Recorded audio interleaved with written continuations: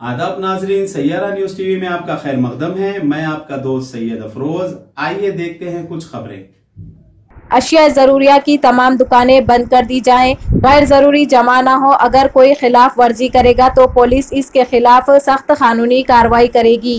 इतला दी जाती है कि आज शाम आठ बजे के अंदर आप लोग अपने अपने कारोबार अपने अपने दुकानें बंद कर कर अपने अपने घरों को लौट जाइए।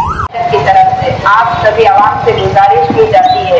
आठ बजे के अंदर सारी दुकानें वेंडर्स ऑटो सभी चीज़ें बंद कर देनी चाहिए। और किसी भी तरीके की रोडों पर गलियों में गैदरिंग ना करें। जो कोई भी माहौल खराब करने की कोशिश करेंगे, उनके ऊपर बाज़ार पुलिस स्टेशन की तरफ़ से कानूनी कार्रवाई की जाएगी। और इमरजेंसी के अलावा कोई बाहर ना आए।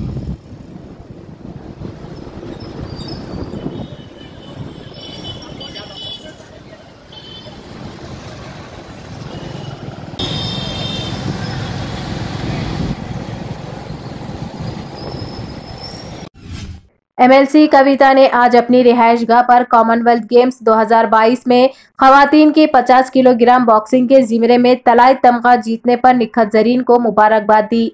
निखत जरीन ने आज के कविता से मुलाकात की। निखत ने कहा कि एमएलसी कविता इन्हें सीएम केसीआर के पास ले गई थी और माली ताउन के लिए कहा था। तो सीएम केसीआर ने 2014 में 50 लाख रुपए जारी किए थे। इसके अलावा सीएम ने जरीन को इजाफी दो करोड़ रुपए की मंजूरी दी और रिहायश अलॉट किया।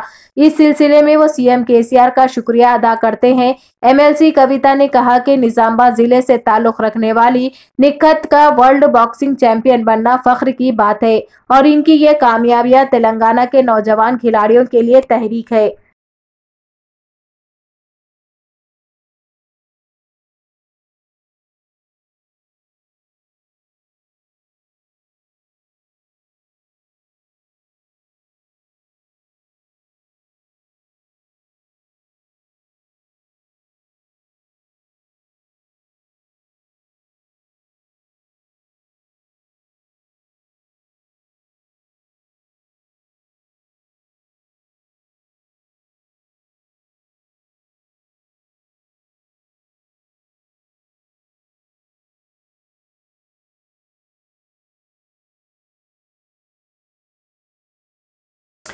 तो जैसा कि आपने देखा, नाजरीन, क्या हो रहा है देश और दुनिया में? इसी तरह के लेटेस्ट न्यूज़ देखने के लिए हमारे चैनल को लाइक करिए, शेयर करिए, सब्सक्राइब करिए और हमें दीजिए इजाज़त।